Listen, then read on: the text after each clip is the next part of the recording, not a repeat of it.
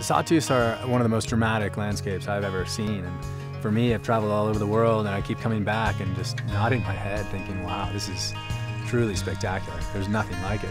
Zach Crist is a professional ski racer and mountain guide, so he's explored mountains all over the world.